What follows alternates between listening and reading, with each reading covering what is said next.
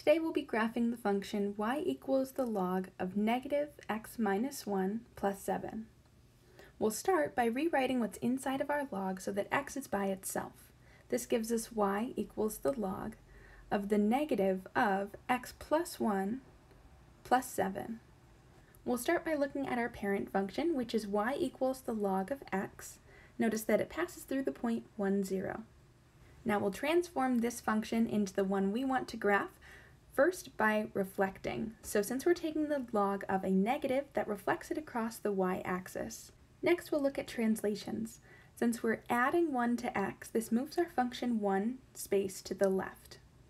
Now it passes through the point negative 2, 0. Lastly, we're adding 7. This shifts our function up 7 spaces. So that now it passes through the point negative 2, 7.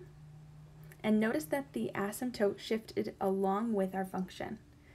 Now this is the graph of our function.